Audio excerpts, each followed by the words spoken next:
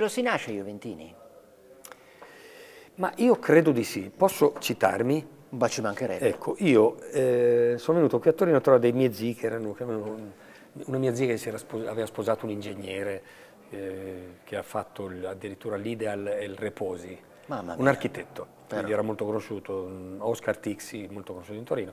E io sono venuto qui e ho passato la, la, una mia vacanza presso l'oratorio della, della Crocetta.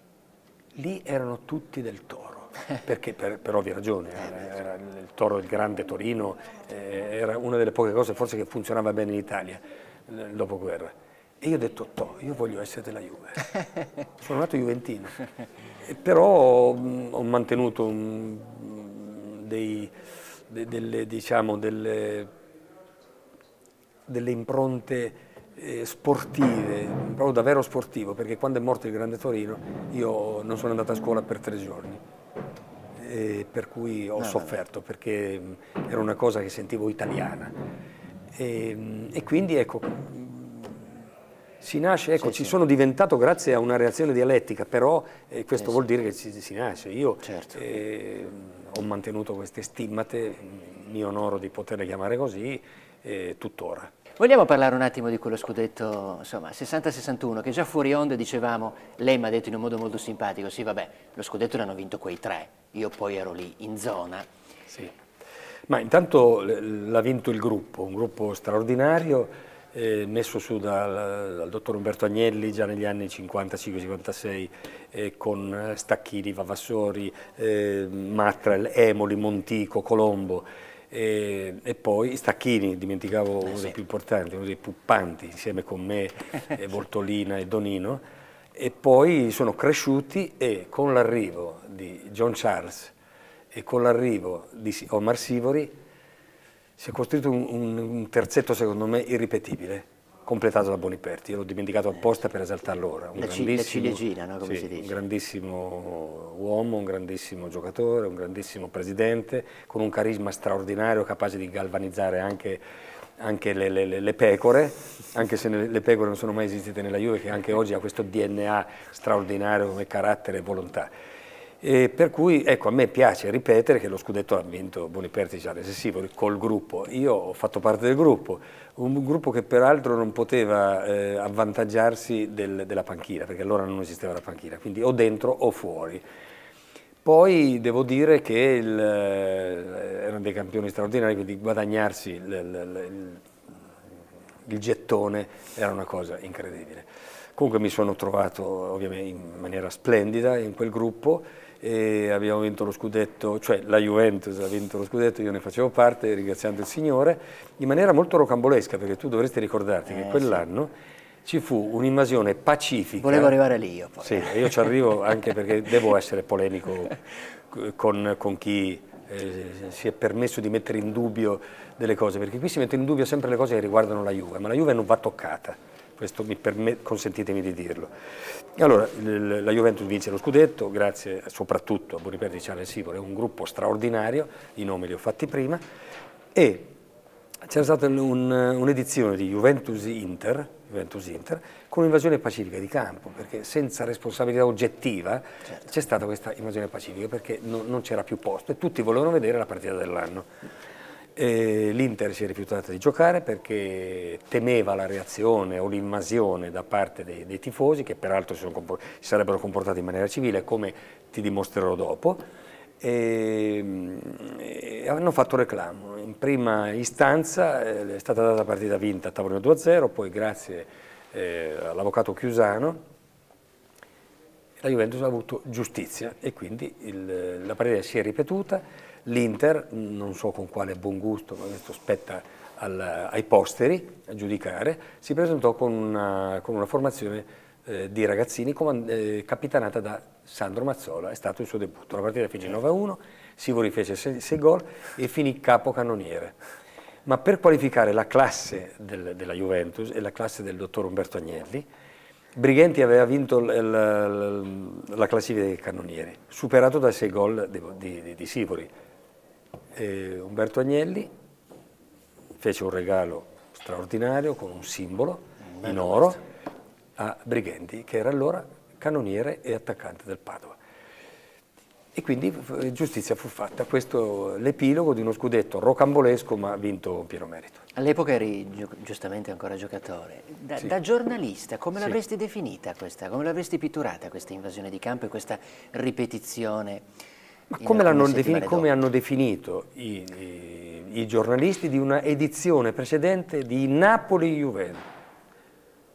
di Napoli-Juventus, sì, sì, esatto. Napoli certo. che al San Paolo ci fu invasione, invasione. di campo pacifica, certo. la Juventus giocò e perse, non mi ricordo se 4 a 3 o 3 a 2, con un gol di scarto, anche lì un andamento eh, sincopato di gol che andavano e venivano.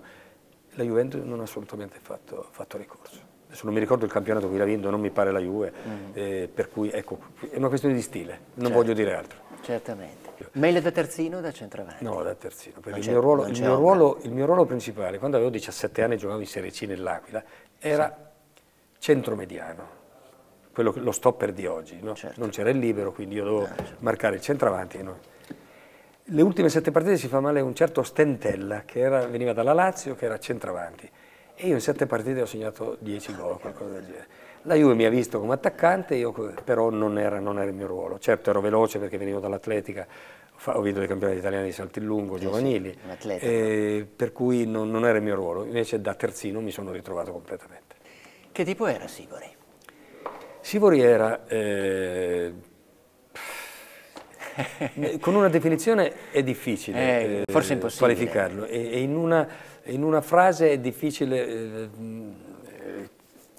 spiegare completarlo. Eh, era tante cose, era un poliedro, era intanto molto umorale, molto emotivo. Io so che talvolta prima della partita andava, doveva andare in bagno per, eh, per liberarsi di, di, problemi di stomaco, perché sentiva il calcio in una maniera incredibile. Era stuzzicato continuamente e ovviamente, logicamente, da difensori che gli martoriavano, gli, le tibie, perché lui giocava con, con i calzettoni ravvoltolati eh, certo. ed, era, ed, era, il calcio tra, trasfigurato in fantasia, in invenzione, in inventiva.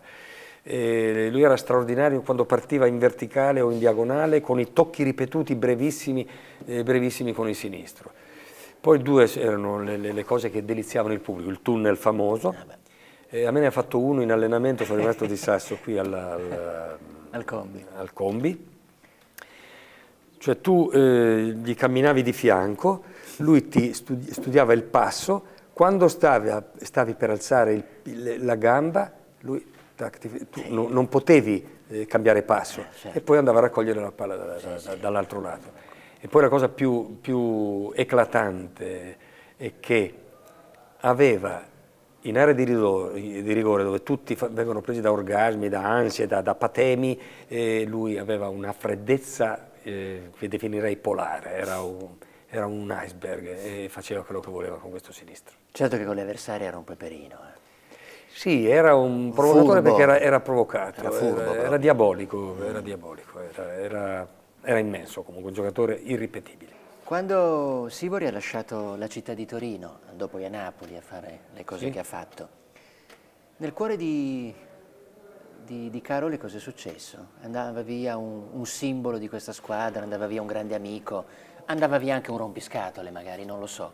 Sì, Cosa andava via da, da Torino? Sì, ha lasciato, ecco questo posso dirlo, Torino è una città molto, eh, molto logica, molto logica, una città che avrebbe bisogno, una città bellissima, straordinaria, ha delle bellezze nascoste o, o, non nascoste che i torinesi dovrebbero scoprire. Manca un PR, una persona che valuti questa città. Ecco, Sivori ha lasciato, ha lasciato l'estro, la fantasia e la passionalità che, che Torino ha ma che non sa esibire. Su Charles cosa vogliamo dire, Angelo? Charles era un uomo straordinario, innanzitutto un, un, uomo, un bellissimo uomo dentro e fuori, una bellissima persona, ecco, per, per, non, per non, equivocare, per non giocare sull'equivoco. Aveva una potenza straordinaria, una tecnica scarna ma efficacissima, era di un'eleganza incredibile, di una correttezza e di un fair play tipicamente britannico, tant'è che una volta eh, un'edizione di Juventus Sampdoria ci fu uno scontro appena dopo la metà campo eh, verso l'area Sampdoriana, uno scontro con Bernasconi. Bernasconi che era un centromediano Sì. tozzo, robusto, eccetera. sentito, Bernasconi cadde a terra eh, lamentandosi, eh, Charles stava andando verso la porta avversaria, si è accorto del, eh, dell'avversario per terra, buttato la palla in calcio d'angolo, è tornato indietro e ha, e ha- e ha aiutato a rialzarsi. Ragazzi, Questa era classe. questa era classe. Poi l'altra cosa che vi ricordate è l'impatto pauroso contro il palo contro la Fiorentina. Per trema cui- ancora adesso Che trema ancora adesso il palo. sì, eh. Lo stanno puntellando ancora perché vibra. eh, E gli hai giocato di fianco al grande Boniperti, grande giocatore, grandissimo campione. Era- Ti sei stupito di vederlo diventare così grande presidente? No, assolutamente, assolutamente. O era la trafila che doveva No, no, no, o era poi fare? assolutamente. Lui eh, rifugiva le, le- le- le interviste, era schivo, di poche parole, tipicamente Sabaudo, no? Eh, eh, grande meditatore, ra- un razionale, eh, ancorché sanguigno, perché in campo dimostrava tutta la sua juventinità, il suo coraggio, era un giocatore co- coraggiosissimo, soprattutto da, da giovane quando giocava di punta, prima di rientrare, di rinculare come, come Certo. regista. Ed aveva un carisma incredibile, cioè lo, lo- lo sentivi che, che guidava, che guidava la squadra, che guidava i tuoi passi, i tuoi movimenti, persino i tuoi pensieri. Pensa che io l'ho conosciuto, ho conosciuto Giampiero, perché giocavo nelle, nelle giovanili della Juve, avevo 18 anni, e quando mm, sono stato convocato mi metto in treno verso Bologna e eh, in treno mi hanno presentato il capitano. Poi guarda caso a Bologna vincemmo 1-0 e segnai il gol della vittoria, è rimasta la storia. Eh certo, certamente. Questo è quanto. In panchina, in quel 60-61, Angelo, mh, ci sono stati molti cambi, insomma, alcuni dicono, vabbè, i cambi si svolgevano soprattutto in questi ultimi periodi, Sì, c'era- gli allenatori... C'era Burelli, se non mi sbaglio, lo Iodice, se non mi sbaglio, c'era, c'era Fascetti, se non mi sbaglio, e poi c'era un'alternanza, c'ero io ovviamente, c'era eh, Mattrel, eh, perché Vavassori forse era il Sì. titolare, ma qui la, la memoria non mi, non mi assiste molto. E poi, perché poi c'era, c'era Castano che ogni tanto si infortunava e ha fatto la mia fortuna, perché se lui si infortunava io eh, lo sostituivo, ma mh, era l'e- l'epoca in cui ho giocato da terzino, non più da centravanti come, come all'inizio. E di Cesarini cosa vogliamo dire? Straordinario, Che personaggio. un picaro, un, eh, un rabdomante con la forcella di Frassino che cercava sempre l'acqua che lo potesse, eh, gli potesse dar vita, un uomo straordinario, pieno di passione, mh, eh, tecnico molto passionale anche in questo, in questo campo, eh, amante del bel gioco ovviamente essendo un, un- un argentino, un italo-argentino, E della bella vita. ed era